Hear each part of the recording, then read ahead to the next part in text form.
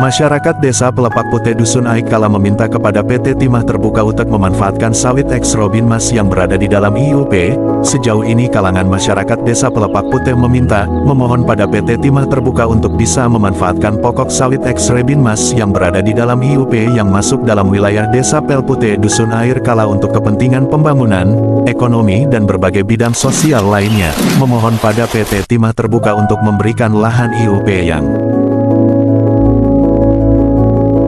Berada di wilayah Desa Pel, Putih Dusun Air Kala TSB kepada masyarakat Desa Pel Putih Dusun Air Kala sepenuhnya setelah masa yub tersebut berakhir, kami masyarakat Desa Pel, Putih Dusun Air Kala meminta kepada pemerintah dan PT Rebin Mas Jaya dan pihak terkait UTK bisa memberikan 20% dari luasan kebun yang dimiliki PT Rebin Mas Jaya di wilayah Desa Pel, Putih Dusun Air Kala sesuai Permentan Nomor 26 2007 Pasal 11 TTG kewajiban membangun kebun UTK masyarakat 20% dari total luasan kebun yang diusahakan.